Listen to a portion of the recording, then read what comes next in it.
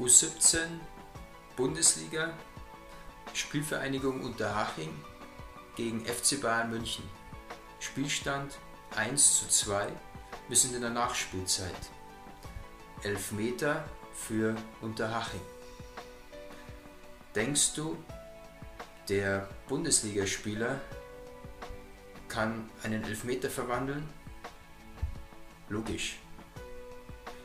Denkst du, der Bundesligaspieler hat das richtige Mindset, um den Elfmeter zu verwandeln?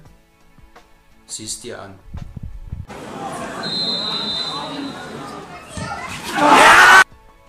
Elfmeter verschossen. Nein, er hat nicht das richtige Mindset.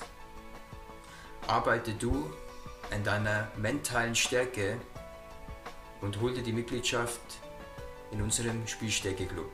Ich freue mich auf dich.